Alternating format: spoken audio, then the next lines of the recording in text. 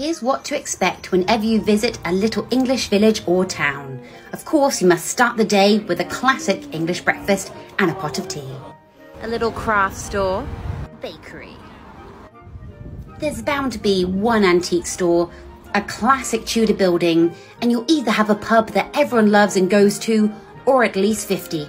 There is no in between. At the heart of every town centre will be a war memorial because we will never forget.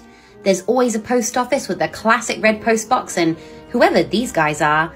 And nearby will be a quiet country lane you can walk down with, of course, sheep